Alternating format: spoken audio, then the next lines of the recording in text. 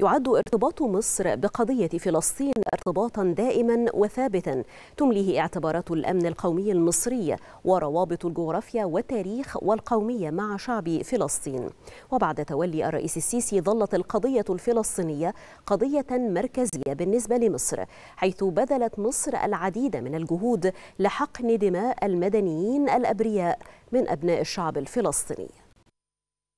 ارتباط مصر بقضية فلسطين هو ارتباط دائم ثابت تمليه اعتبارات الأمن القومي المصري وروابط الجغرافيا والتاريخ والدم والقومية مع شعب فلسطين. فلم يكن الموقف المصري من قضية فلسطين في أي مرحلة يخضع لحسابات مصالح آنية ولم يكن أبدا ورقة لمساومات إقليمية أو دولية. لذلك لم يتأثر ارتباط مصر العضوي بقضية فلسطين منذ عام 1948 مصر اتخذت تدابير وقرارات ذات طبيعة سياسية لمساندة القضية الفلسطينية منذ نشأتها وتمثل ذلك في مواقف رؤسائها والمسؤولين بها في المحافل والمؤتمرات الإقليمية والدولية وإيجاد سند قانوني لقيام دولة فلسطينية على حدود الرابع من يونيو عام 1967 وعاصمتها القدس الشرقية ومعترف بها من الأمم المتحدة. ويأتي هذا الحرص عن اقتناع تام بأن أن تحقيق هذه الخطوة هامة جدا لتحقيق سلام عادل وشامل ودائم بالمنطقة ولتجنب المزيد من العنف وحقن دماء المدنيين الأبرياء من أبناء الشعب الفلسطيني بذلت مصر العديد من الجهود لوقف إطلاق النار بين الفصائل الفلسطينية وإسرائيل بقطاع غزة فضلا عن الجهود الإنسانية التي قدمتها مصر من خلال فتح معبر رفح لاستقبال الجرحى والمصابين الفلسطينيين والمساعدات الغذائية والدوائية للشعب الفلسطيني. وبهدف تحقيق الوفاق بين الفصائل المختلفة ترعى مصر الحوار الفلسطيني الفلسطيني وتتم استضافته في القاهرة في جولات متكررة منذ عام 2002 أكدت خلالها مصر ضرورة وضع برنامج سياسي موحد بين كل الفصائل. ركيزته الأساسية تخويل السلطة الفلسطينية وإجراء مفاوضات مع إسرائيل في القضايا المصيرية وعدم قيام أي فصيل من الفصائل أو السلطة الفلسطينية بالخروج